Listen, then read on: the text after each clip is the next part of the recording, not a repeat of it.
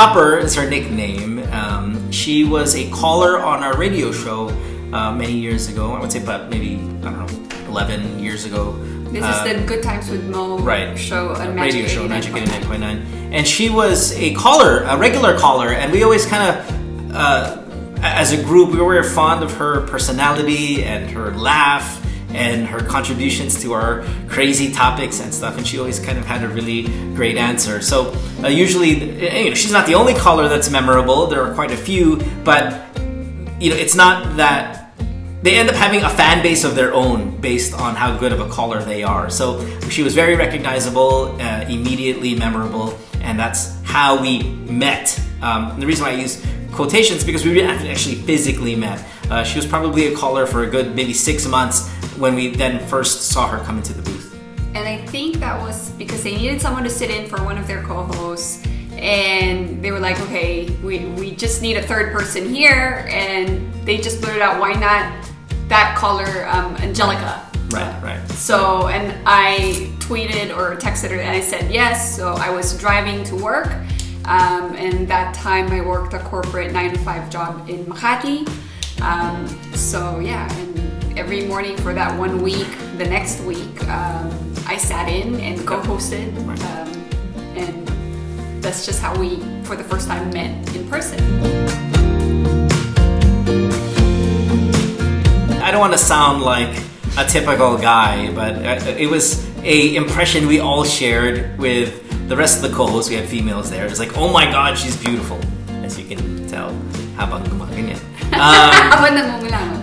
so, so initially, obviously, that's the first impression, and, and really, I think that's why people dress up, and that's why people comb their hair, and that's why people maybe wear makeup or you know tuck in their shirt, is because you want to uh, make a good first impression right away. And that was wow, we were wow, like oh my goodness, our our caller is like gorgeous.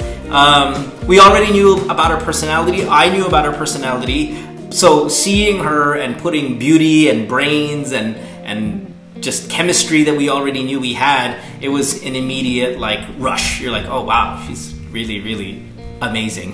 so, that's I guess. for for me, I um I was a little starstruck, but um, because I have been a fan of the radio show, and when I when I met Mo and the rest of the uh, crew, so that was that. But for, with Mo, um, he was quiet and shy in person, so I was like, well, he seems different um, in person because a lot of people get the DJ Mo Twister on air, um, you know, confident. He's ready to talk about any topics that you throw at him. But in person, um, he was really shy and quiet, and I felt a little awkward. Like, okay, but but he he he made co-hosting that first week very comfortable. He walked me through it, and yeah. This is where we're gonna have differences of memory. Okay, uh, it, it's it's one of those things. Mine is the better version. No, there is no better version. There's just the real version, like the true version. and I'm gonna say she made the first move. It was pretty clear. Um, I was just talking about this on the podcast uh, the other day, also because, as she said, I am shy. I am not one to be very forward in person. I'm not the life of the party. I don't talk a lot. So that is synonymous with my being incredibly torpe, right? So I can be your friend forever and have a crush on you, clearly, forever, without ever really doing anything about it because I am so shy. So the chemistry really was there and um, even though I had a crush on her, there's no way in hell I'm gonna ever say anything or make the first move. So um, I would say she made the, the first move, and she did it via text message.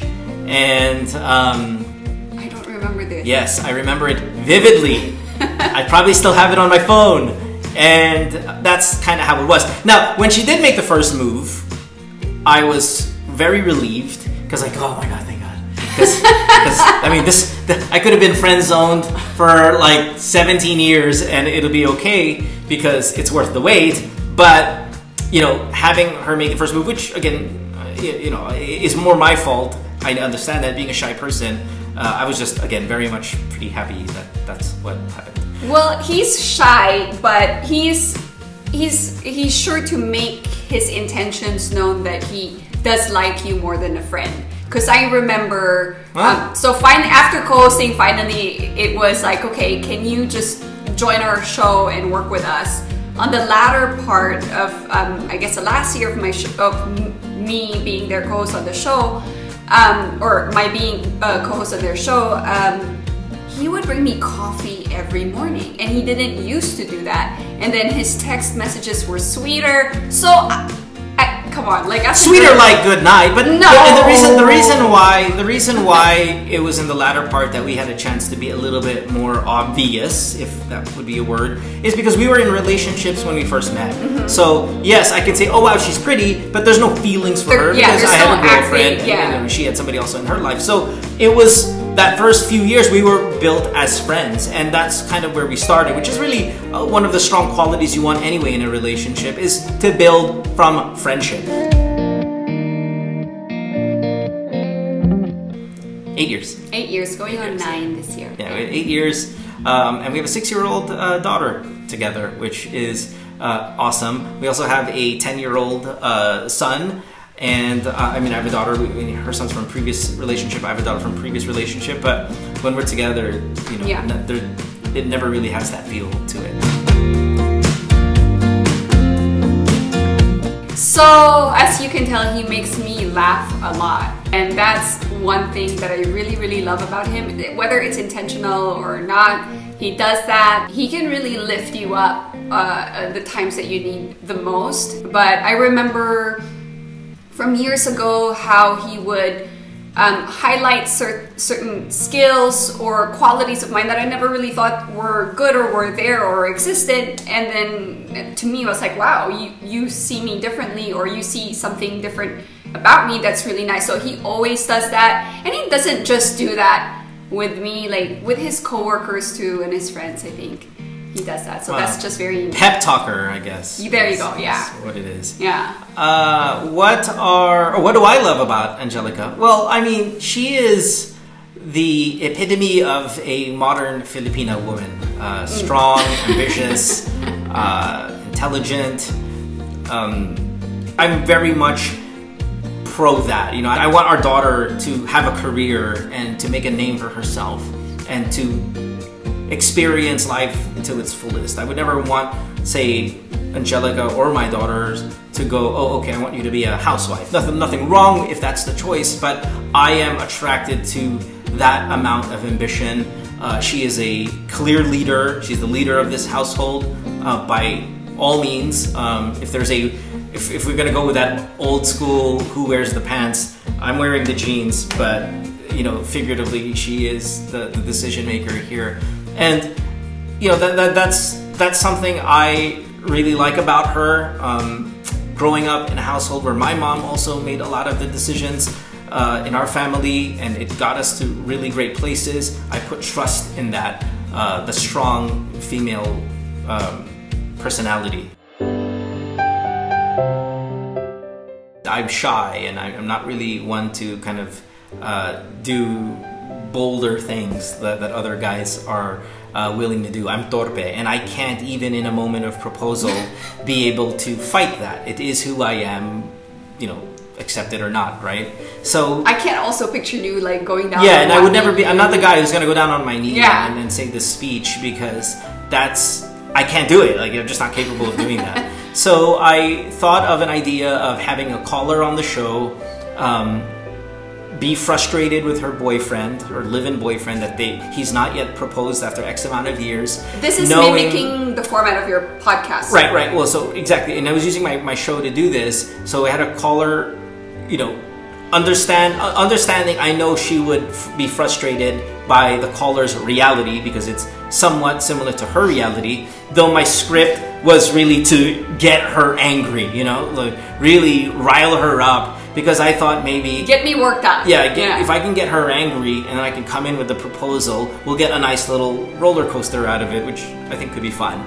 So I planted a caller to mimic something similar of a situation that we're going through as a couple, and then we had the caller go, I just want my boyfriend to say, Angelika, will you take Mo this ring and be, you know, uh, and be his Yeah. wife or whatever it was. And you um, don't even remember. And that's how it went. And honestly, I, I didn't think she was impressed by it. I didn't really. No, I was. I think it was just I was really caught off guard. Um, and you know, we're, we're we're um, going through some stuff with our family too. Uh, we're we're we're mourning the loss of my brother.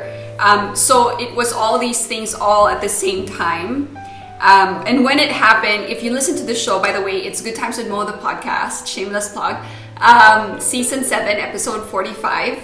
Um, you'll you'll really hear how like shocked or caught off guard or surprised I was because I was worked up um, by, by the caller and I was really looking to advise her. I was even telling her, oh, this is the blog site that you would go to. I'll send it to you to get married during COVID and all that stuff. I was, I was um, really so into helping the caller because I felt her um, pain, Pain. frustration. Yeah, totally. Which was which, which I think to me at the time was I was like, this is going great. Like this is this is getting this is really working perfectly because she is upset and that's the point and all of that And stuff. Mo just kept saying, "Ang mahal eh. It's so Yeah. expensive to get married." So, So- I was so- like, "Damn it! He keeps saying that." We, and I keep defending that I don't want an expensive wedding. I don't think the caller wants an expensive wedding. I Right. think it's. but I mean, that was the point to, to really kind of get her upset, right? And Yeah. come in with it with a proposal. So again, I, I don't think she was too impressed by it live in the moment. And then it took listening to it again Yeah. and maybe getting the feedback from a lot of the listeners where I think she appreciated it because I, I saw a massive change in how nice she was to me the week after. I mean, she kissed me with passion and, and then, caressed right, she caressed me, and then a week later, you know, that was all gone. no, I wanted I wanted to um, I wanted to tell my mom who's in the Philippines. Um, as you know, we, we we live in the U.S. Um, first, and then I wanted to tell my sister and my sister-in-law, and then I wanted to really like immerse myself in it too. But I don't expect us to be engaged for a very long time. I think we're probably going to get married re- relatively soon. Um, and it's something I think also we want to do for our children because they do ask us about it. And I, I think that in, in itself is a different topic. When you have children and you're not married and they ask, which they do, what's the right answer to give? And I think We're running they've- out of yeah, they, I think they've asked enough. I mean, we're certainly not getting married for them, but now that we've decided to really formalize it, I think doing it as soon as possible is just good for everybody. Yeah, I think Um, we've never really treated our relationship as if we weren't married. Um, Right. We always talk, um, address each other as husband and wife, and um, you know, even if we're not officially on paper married, we just treated our relationship as like as any married couple would or should. I think it's going to change our lives forever, but it'll strengthen our uh, relationship. Thank you for being like the song you were my strength when I was weak. Um, but really, um, I think that's what partnership is about.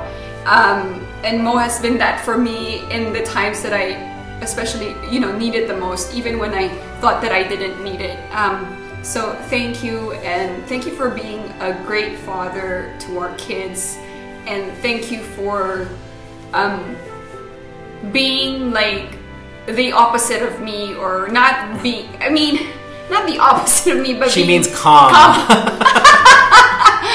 um you know for for complimenting my personality I think I think that's that's uh, that's one of the things uh, I, I wouldn't be able to explore a lot of things in life if you didn't show me a different way Uh, what do I want to tell Angelika? Well, I would like to tell her. See, I gotta see straight. I can't look because it makes me all shy and stuff. I know he can't But- even babe look We're not going to do this dramatic stuff. We're being interviewed here.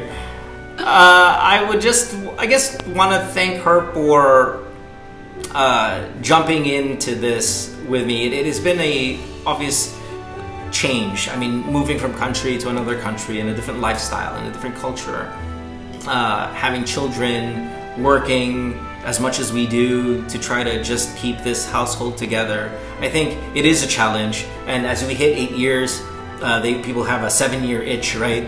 Um, I don't feel that itch. I am as enthused about this relationship as I've been from day one. That's me. And I ask you to maybe remind yourself of the things you liked about me uh, when you first met me. Yeah. And hopefully that will carry over as we get through the years. Um, I don't like too much change, as I said earlier, so I don't want to change a lot about what we are and who we are and what we were from day one. Um, I know that marriages, it's very difficult, relationships are difficult to sustain that level of enthusiasm, love, excitement, fire, uh, as they say, as the years go by. But as much as possible, I try to hold on to year one as we get into year eight and year nine and year ten with We're in so year much. eight, just- I know, I know. I'm saying as we move into like eight, year eight, year nine, year ten, I try to hold on to year one as much as possible and make that a reality even today because that's what I like consistency. Um, so remind yourself hopefully of the things you liked about me and maybe you can see me in year 20 as you saw me in year one. Um, and that would be a massive win uh, personally and i think for relationships and for all relationships. Um, yes we are going to grow and all of you will grow uh, as, as you know as your relationship matures. But if i can go back to it hold on to them in year 25 like you did in year one and i think you're going to be pretty good